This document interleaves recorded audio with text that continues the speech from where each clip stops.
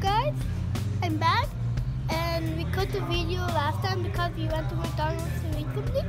So this is the car I picked. Look, look, look at